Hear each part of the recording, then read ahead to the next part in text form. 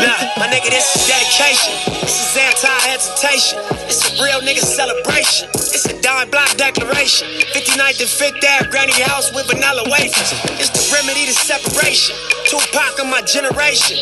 Blue pill in the fucking matrix. Red rose in the great pavement. Young black nigga trapped and he can't change it. Know he a genius, he just can't claim it.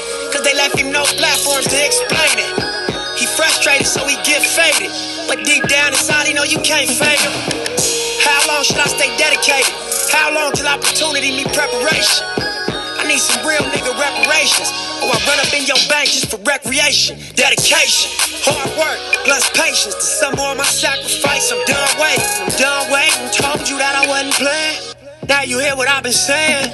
Dedication.